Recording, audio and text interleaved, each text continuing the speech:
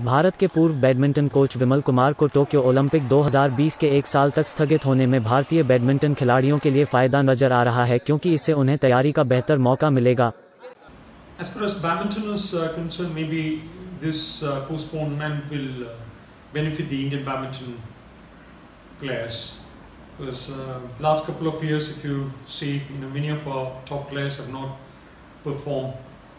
To their potential, and uh, many were struggling to even qualify.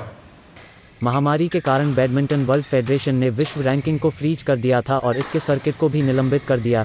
Tokyo Olympic स्थगित होने के साथ B W F Olympic qualification प्रक्रिया पर पुनर्विचार करेगा। हालाँकि विश्व रैंकिंग को फ्रीज करने का परिणाम ओलंपिक क्वालिफाई पर लागू नहीं होता है।